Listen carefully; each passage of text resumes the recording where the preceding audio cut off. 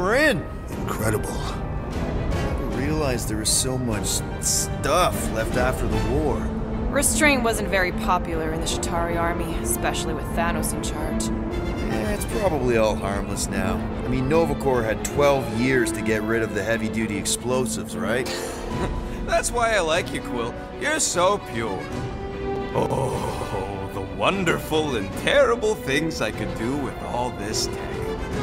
Focused, Rodent. We did not come here to scavenge. Why not? The Milano's weapon systems could use an overhaul. Plus, there's good money in it.